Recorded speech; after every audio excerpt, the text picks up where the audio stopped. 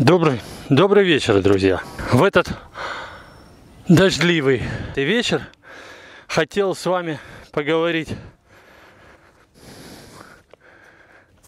о тех ситуациях, когда вы, тренируя новые упражнения, тратите больше сил, чем обычно, по понятным причинам, связано с тем, что необычные упражнения задействуют непривычные мышцы, ну или просто мы делаем их с большим приложением сил в попытке сделать их корректно, но не понимая, как и наше тело еще не умеет это делать правильно, мы прилагаем больше усилий, чем нужно, и, соответственно, э, в такие дни очень часто случается, что устаешь раньше, чем истекает время тренировки.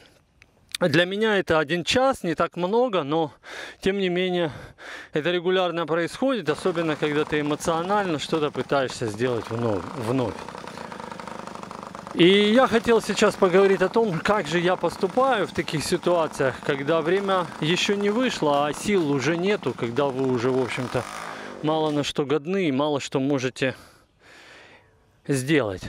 Второй момент, э, времени в принципе мало, и поэтому я сейчас пришел к такому, такой попытке разнообразить свои тренировки. Я начинаю заниматься, когда я устал, заниматься какими-то элементами баланса с минимальными перемещениями, чтобы физически не то, что это совсем без физических нагрузок, нет, но э, с такими какими-то щадящими нагрузками, а поскольку все элементы позиционирование и балансирование требуют многократных повторений, большого количества времени надо уделять этому. Как раз вот моменты, когда ты устал, очень тому подходят. Несложные такие элементы, откаты назад, позиционирование, какие-то такие слабенькие-слабенькие вещи. Вы, конечно, увидите, как плохо я это делаю, и, возможно, кто-то даже об этом скажет, но я вам скажу такую вещь. Вот эти откаты назад, они тем легче, чем выше скорость. При повышении скорости увеличивается гироскопический эффект вращающихся масс, то есть ваших колес прежде всего. И это вам помогает держать стабильность э, мотоцикла.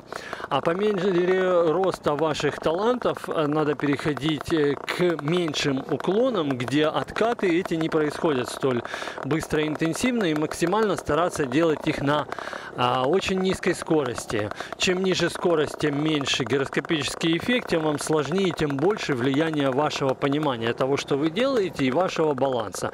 Это, к этому мы и стремимся, делать все упражнений на минимальной скорости. Ну вот я сейчас на этой стадии, получается не очень хорошо, пытаюсь понять, как же вообще работать. Лучше задним тормозом, лучше передним тормозом, а иногда лучше вообще работать сцеплением и мотором, как тормозом при откате назад. Все это непросто. И вот второй момент, о котором я уже несколько раз начинал говорить и так не закончил, это то, что я стараюсь выполнять эти все тренировки с минимальным, скажем так, количеством вообще отдыхов и остановок.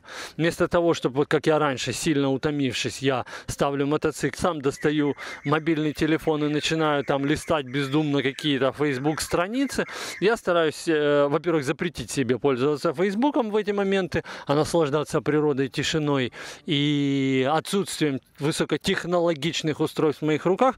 А второе, продолжать тренировку, даже когда я устал. По мере нарастания усталости я все больше акцентирую внимание на вот такие менее затратные упражнения по балансированию и так далее. И тем самым стараюсь уменьшить количество стопов. Сейчас я уже ограничился двумя остановками в течение своего часа. Ну вот так, господа, сыпется мелкий дождик, темнеет.